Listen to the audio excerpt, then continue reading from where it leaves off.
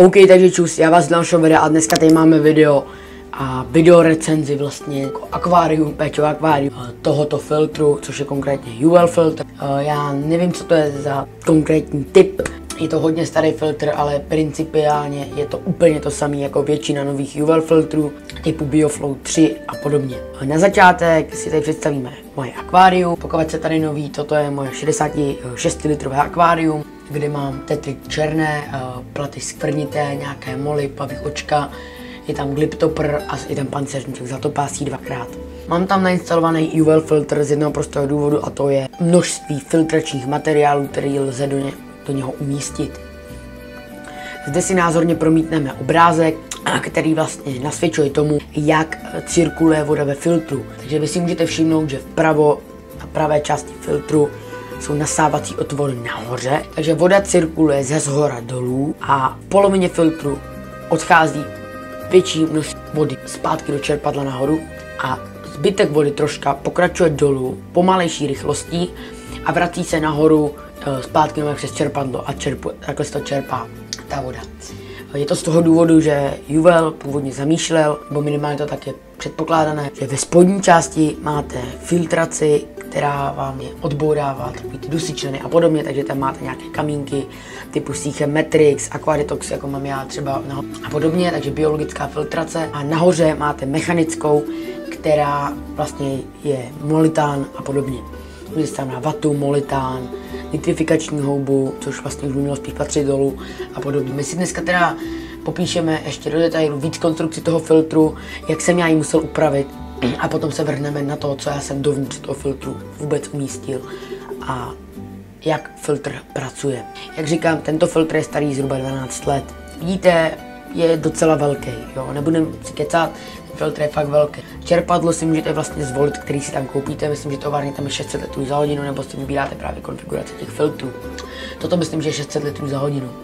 Čerpadlo si můžete zvolit, jmenuje se to EcoFlow a měly by být kompatibilní ve většině případech se všema filtrama. Čerpadlo se dá, jak říkám, snadno vyměnit a je na té levé části, kde je vlastně vývod. Spolu s ním je tam umístěné topítko, které, přes které cirkuluje ta čistá voda, aby se voda udržovala na ideálních stupních. Takže se vám to skryje všechno do jedné bedny i s topítkem, i s filtrem. Filtr tovární měří asi nějakých 40 cm na výšku, 16 na tloušťku. Na šířku jsem to neměřil, to se vám omlouvám. Je tam jeden problém. Toto akvárium má na výšku 40 cm a to je jakoby celková hmotnost. A tak, aby jsem to tam dal se substrátem a podobně a nepřečnívalo to, protože ono to mělo možná i víc než 40, myslím nějak 45 nebo kolik, tak jsem musel trošku provést úpravu. Vzal jsem eh, šuchtopilu, to je takový nástroj, kde vy máte prostě nástroj a tam je pilka, která takhle jezdí nahoru dolů, jako by vám to řeže a celý jsem to objel a zkrátil zhruba o takovýto kus. Problém je, že jsem to vzal i s tím nasáváním, což není problém, já jsem to teda zamýšlel a tak to bylo plánované. Ale vzal jsem to i s tím nasáváním, což samo o sobě není žádný problém, protože jsem to zkrátil o těch 10 cm. Místo těch mřížek nasávacích, které byly bez tak zbytečně moc velký, jsem tam vyvrtal 2, 4, asi 12 dírek, jo, vrtačkou a tam tudy to nasává úplně bez problémů. Takže tak to jsem ho zkrátil a funguje to naprosto v pořádku.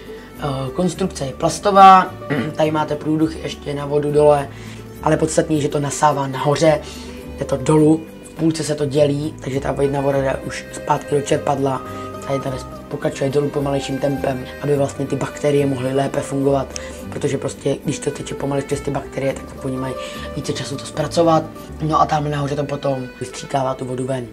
Když už jsem u té konstrukce, tak se vás na rovinu zeptám. Prosím vás, kdybyste někdo měl tento filtr a měl k němu rozstřikovací rampu, tak mi prosím vás dejte vědět do komentářů, hned to klidně pauzněte a dejte mi vědět, kde jste jí sehnali tu rozstřikovací rampu. Já ji nemůžu najít ani na fore, takže bych se mi tam opravdu chtěl tu rozstřikovací rampu, ale nemůžu ji nikdy najít kde se prodává na tento filtr přímo, protože ty moje klasické náhadice 16-12 mi tam nepasují. Nebo na 16-16, vlastně takový ty klasické hadice mi tam nepasují, ty rozstřikovací rampy. Tak a teď se přesuneme k tomu, co jsem umístil do filtru. Jak jsem říkal, ze zhora musíte jít. Nahoře ve filtru mám klasickou hrubou pěnovku, neboli houbu. Klasická modrá hrubá. Tu jsem tam umístil. Za normální okolností bych tam teďka dal to uhlí, který tam vlastně je.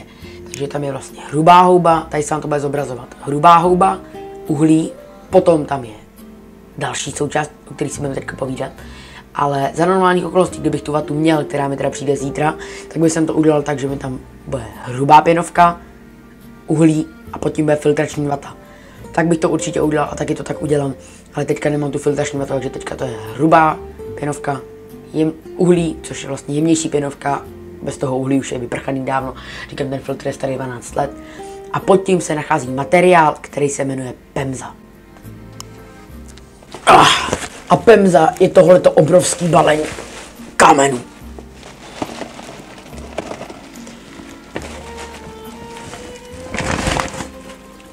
Pemza je vyvřelá hornina a velice se podobá síchem Matrixu. Je to de facto úplně to samé, akorát platíte za síchem Matrix, platíte značku. Tohle je úplně to samé. Časem vám ty pozitivní látky, nebo co to v tom systému Matrix musí být, jinak by ta cena nebyla takhle razantně odlišná. Stejně vyprchají, takže ve finále nitrifikační bakterie se usazí úplně stejně na PEMZE, kterou koupíte v zahradnictví, jako na stíche Matrixu. PEMZA se prodává v tomto 5 litrovém balení 78 korun českých a sítě Matrix se ve 4 litrovém balení prodává za 1500 korun českých, což je obří, obří rozdíl za který si myslím, že se určitě nevyplatí připlácet za sítě Matrix. Já jsem sem dal tak zhruba litr tý, litr tý pemzy. Je tam dole vlastně v té biologické části, takže se to skládá kompletně, už si to ukážeme. Hrubá pěnovka, jemnější pěnovka neboli uhlí a pemza. Takhle se to skládá a takhle to potom cirkuluje v té vodě. To je vlastně všechno, co se týče tady tomu filtru. Výtok toho filtru je dostat, dostačující. Netěží to nějak extra vodu, ale netěží to zase nějak málo vody. Je to takový ten ideální střed. Postřikovací rampa by byla sice lepší, ale bohužel netuším, kde na, takže mi prostě mějte do komentářů. Ale co se týče výkonu čerpat, spokojený. A co se týče čistoty akvária, tak je to určitě lepší varianta než Diverza Claro 1000, kterou jsem nakupoval a hned jsem ji tam odsud vyndal. Protože tahle prostě malý, malý filtrační objem, vlastně malou kapacitu toho filtračních médií na takovýhle akvárium 66 litrový.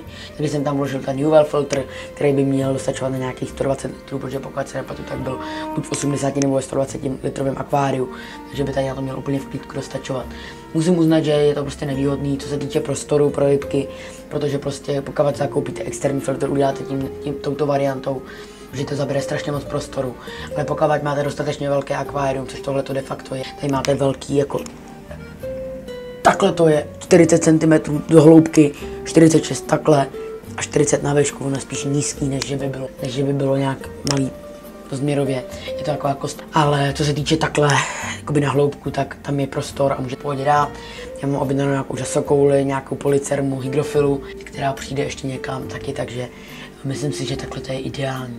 Ještě mám objednaný juvel krmítko, který mi přijde též zítra, který tam přijde vlastně taky a bude to automaticky krmit i já jsem tímto akvárium naprosto spokojený na to, že jsem to získal tak, uh, že jsem si jel původně pro 300 litrové nebo 120 litrové akvárium, z toho se vyklubilo 300 litrové, které jsem si nemohl převzít a nešlo ani dát do auta nic a nešlo hlavně ani odnést do, takže jsem nad tím ani neuvažoval vteřinku, tak jsem si vzal tuhle tu porodničku 70 litrů, abych do něčeho mohl dát ty ryby, uh, což vlastně vypadalo, ta fotka toho původního akvária vyráží takto a teďka to dopadlo tak. Takže doufám, že vám toto video k něčemu posloužilo.